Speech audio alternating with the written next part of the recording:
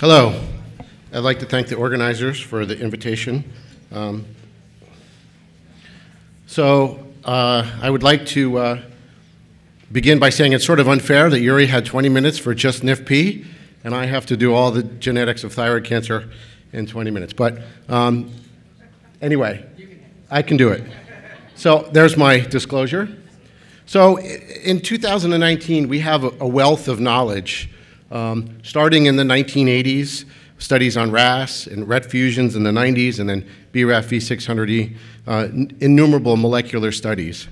And then, um, so I was the co-chair of the TCGA. That started around 2010. We published that in 2014.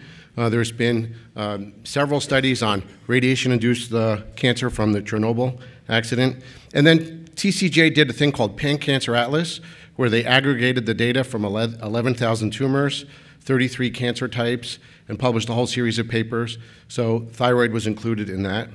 Uh, MSK Impact, uh, the studies that we've seen a little bit of Jim Fagin's group, excuse me, I'm fighting this dry cough, of poorly differentiated and anaplastic carcinoma. And then uh, we'll hear from Dr. Haugen, whose, whose group in Colorado did a study in which they aggregated publicly available data, uh, mostly on aggressive and anaplastic thyroid cancer. So there's just a wealth of data. So this is a, a big talk in a short time. So I, when thinking about this, I tried to extract what I thought were 18 essential insights, starting sort of at papillary and working our way towards anaplastic. So we'll see. So let's begin. So this is one of those Pan-Cancer Atlas projects. This was on copy number and ploidy. And you can see at the very top there where the, where the arrow is, that THICA, uh, that's what the TCGA called papillary thyroid cancer, uh, for thyroid cancer, um, has the lowest level of aneuploidy. They developed this aneuploidy score. Uh, and so it's basically telling us that, the, that papillary thyroid cancer has a very stable cancer genome, very picture, big picture, sort of like karyotype. Um, and it sort of explains why PTC does so well, right? It's, it has a very stable cancer genome without many uh, copy number changes. Same thing for mutational burden. This is a, a, relative snapshot of just mutations across the genome. And you can see THICA, again, is on the very left. This is a logarithmic scale. And the cancers that have high mutational burdens are on, on your right and they are melanoma and lung cancers, the cancers that are associated with, with high carcinogenic uh, burdens. Um, so again, this together with the copy number is telling us we have a stable cancer genome with a low number of mutations. And again, together these sort of explain the indolent nature of PTC. However, in the TCGA study, I was able to uh, sniff out uh, some tumors that had higher mutational densities or burdens there's a few tumors there, and you can see their histologies. They're all sort of more complex cancers, either tall cells or, or others. And more formally, the tall cell variants as a group have a higher mutational burden. So you can, even within PTC, you can start to develop a story in which the number of mutations is associated with more aggressive disease.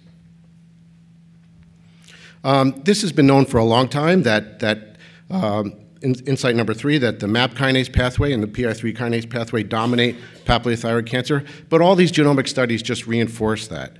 So we have uh, RET fusions and other tyrosine kinase fusions, RAS point mutations, and BRAF point mutations, uh, all in these pathways. So we won't spend a lot of time on this uh, particular pathway, but again, this is what we found in, in the TCGA and other studies.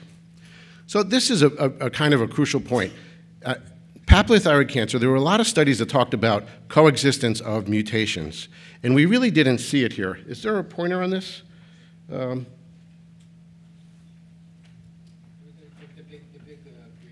got it. So you can see here, um, there's BRAF mutations, mostly V600E. There's some indels and a K601 mutation. These are RAS and EIF1AX. They're mutually exclusive with each other. And then uh, when those end, you can see the fusions are represented here. The fusions are mutually exclusive with each other and mutually exclusive with the point mutations.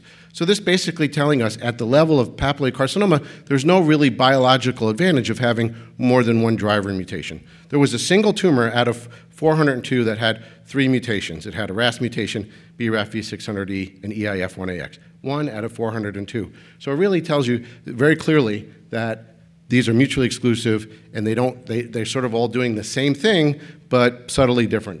Okay? The other point here is that Um, when these end, there are, there's an enrichment of copy number changes, and it suggests that copy number changes can also function uh, as driving mutations.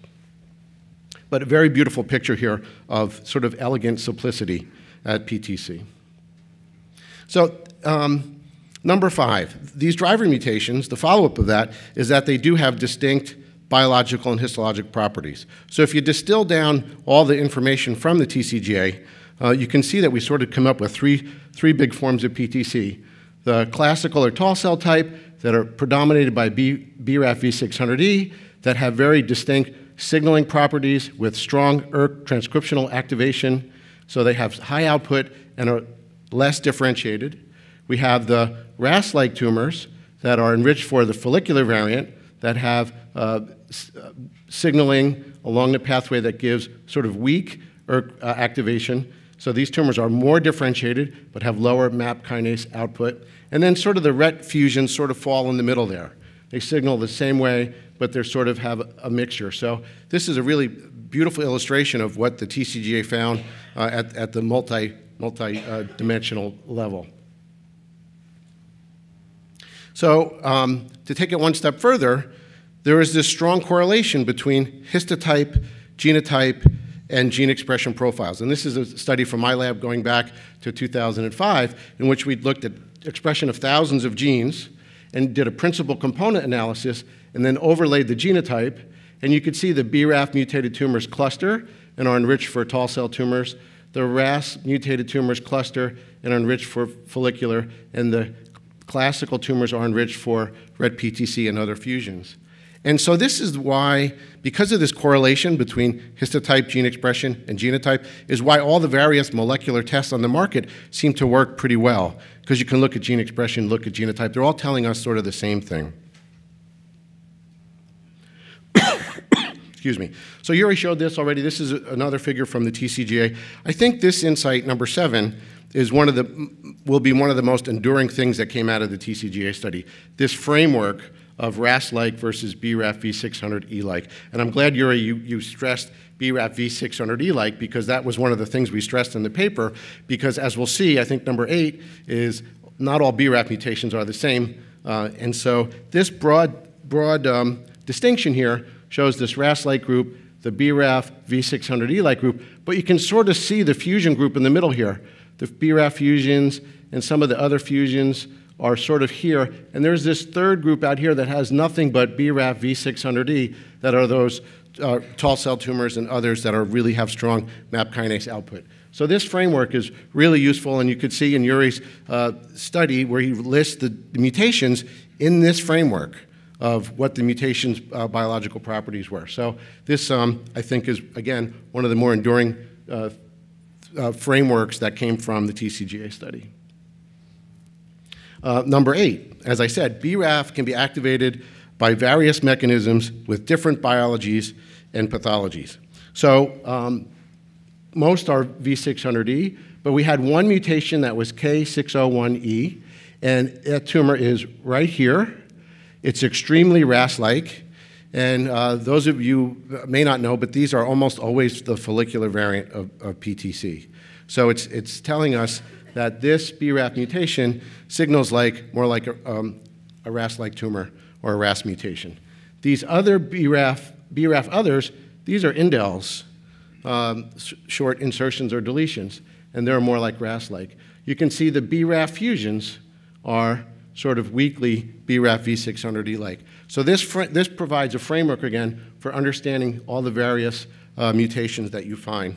So just to drive home the point, point mutations, gene fusions, and indels. So BRAF is a rather promiscuous molecule and can become an oncogene uh, via uh, many mechanisms. And again, this desire to be precise, because I, I, a lot of people just say BRAF like, and that, but that's not precise enough for, for what. So again, we tried to stress that in the TCGA. Excuse me.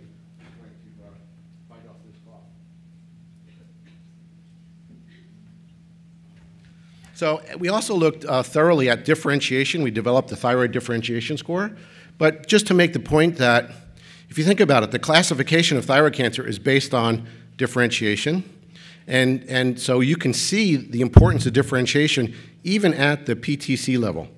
So uh, here are some genes that are involved in thyroid function, TG, the symporters in here, and here's the genotypes. So the first thing to notice, and here's some normal thyroid, first thing to notice that the BRAF V600E cases are less differentiated, greatly less differentiated than many of the other mutated tumors or normal thyroid. We knew that. What was interesting about this is that there's a, still a group here that, um, that exists within that cohort that's a little better differentiated. Excuse me. So it suggests that there's more biological diversity within that mutated group. Again, uh, the theme is more heterogeneity than we might have guessed going in. So, so differentiation is a, a key part, and it also uh, speaks to all these studies where therapeutics are trying to redifferentiate thyroid cancer for therapeutics. So uh, let's move on to progression. So this is a very simple figure from one of Yuri's book chapters that basically talks about the number of driving mutations.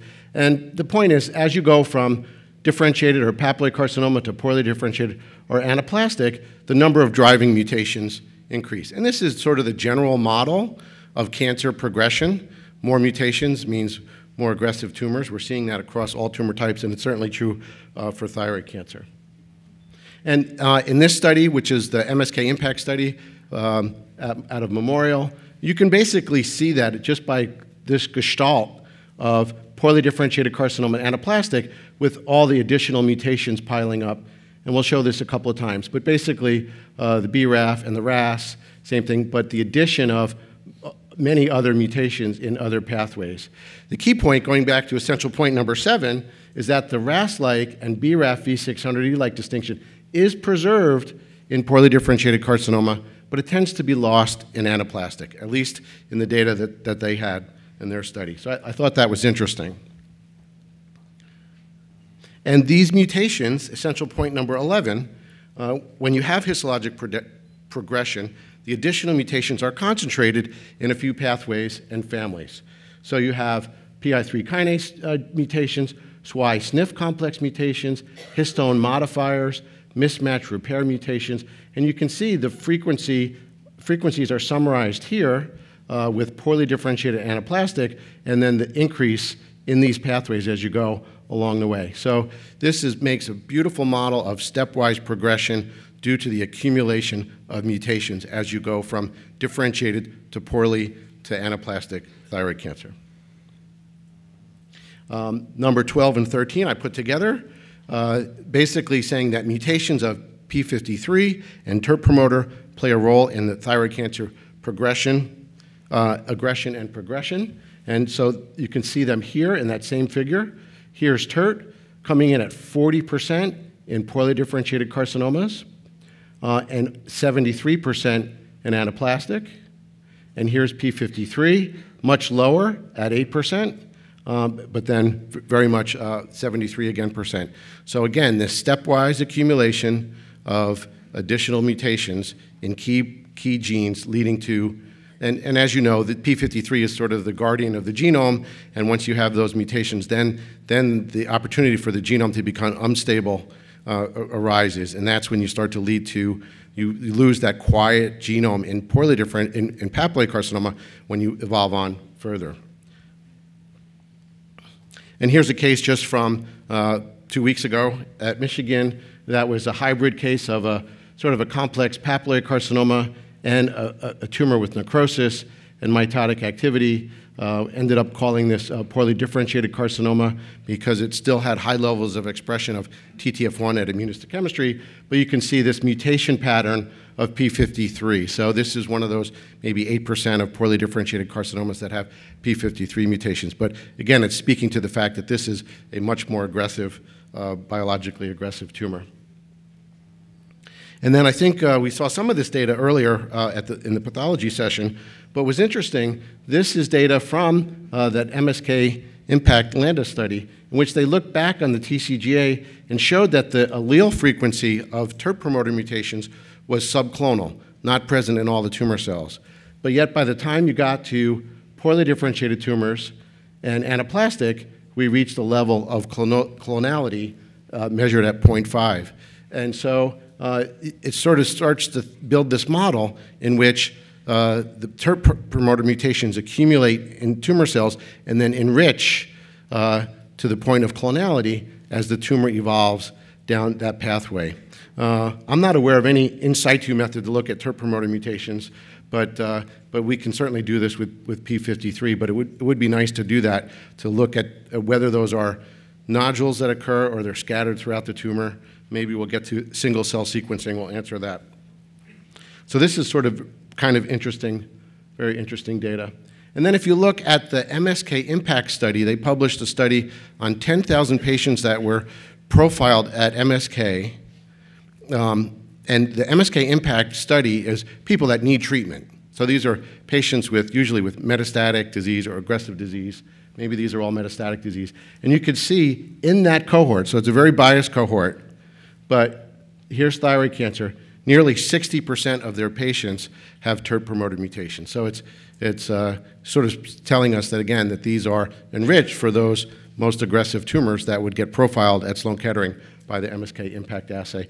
And even in their cohort, even, even papillary TERT promoter mutations uh, have a, a, worse outcome. There's lots of data. I don't have time to show all the data on TERT, but there's many studies by Ming Zhao, Jin at, uh, at Johns Hopkins, and others that talked about TERT promoter mutations. So I think this is almost to the point of being established uh, science. Uh, the question is now, how do we pathologists deliver this information to our clinicians? In Michigan, we're, we have not settled on that. I know at Pittsburgh, you guys are routinely looking for TERT promoter mutations. So more will come. And then uh, on to Hürthle cell carcinoma.